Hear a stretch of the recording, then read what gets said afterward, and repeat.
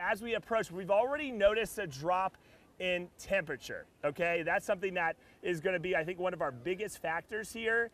We've got clear skies, dry air. We are getting close to totality. We've got a crowd of people here excited to see this. Some have seen one or two already in the past, and many have never actually seen the total solar eclipse that they are about to witness in less than 10 minutes. It's already getting dark. I mean, look at this. This is what, 3.30 in the afternoon? Look at that. Guys, we're approaching totality. And listen to the crowds. Oh man, it just looks like sunshine. I look at this. Brooks, is that cool?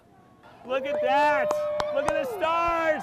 I think that's a planet 10, 9, 8, 7, 6, 5, 4, 3, 2, 1 diamond ring. Wow!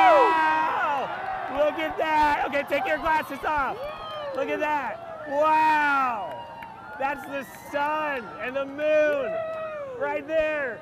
Oh, this is even cooler than last time. Look at that. Look how dark it is. Okay, we see stars. We're back into the 50s. I'm watching the bank temperature sign drop. It's been a whirlwind of a tour here in Maine. Look at that sky. Wow. Maine is such a beautiful spot. And we are the last spot to see it. So, okay, we hit maximum totality here. Look at the glow. Look at that, guys. Wow. Here we go, diamond ring. Wow. Wow. There it is. There it is. Look at that. All right, glasses on. Glasses on. Look at that.